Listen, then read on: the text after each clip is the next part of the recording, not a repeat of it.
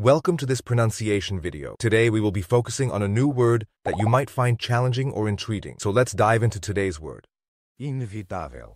which means, Impossible to avoid or prevent. Certain to happen. let's say it all together.